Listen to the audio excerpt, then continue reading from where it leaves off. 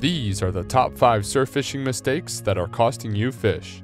Number 5. Crowded beaches. If you want to increase your chances at catching fish in the surf, then you need to stay away from crowded beaches. Sunbathers slathered in sunscreen, swimmers scaring away the fish, and surfers tangling your lines are all a recipe for a frustrating day. Think ahead, do some research, and find beach locations that are more remote, or get out before sunrise. If you do have to fish a crowded beach, remember to be respectful of others. To keep the sport alive and well, we must remember to be courteous and be the ones to take the long walk to get away from the crowds. Number 4. Surf conditions. During your pre trip planning phase, take a couple minutes and check some important details.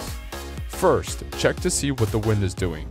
You can use apps like Wind Alert or Wind Finder to find the wind forecast for your area. Wind is one of your best friends for catching fish in the surf. South winds over 20 miles per hour will be difficult to fish, and north winds will lay the surf flat. Second, check the local beach cams online to see how the water looks. Clean, clear water is the best for sight feeders like pompano. You can still catch fish in dirty water, but it will require you to be more thoughtful about tackle and location. Third, check to see what the tides are doing.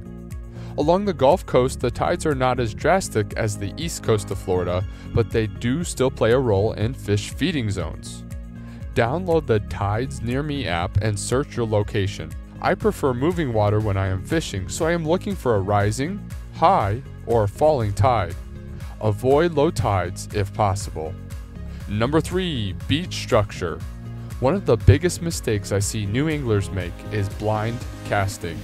I made an entire video that talks about reading the beach, and I will link that down below, but let me summarize that briefly.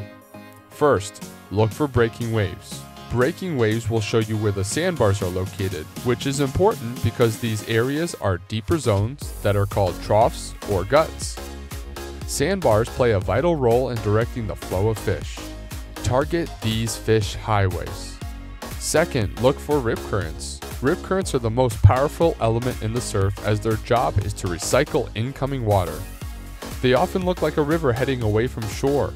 Currents also pull out small helpless baits into deeper pockets of water called holes.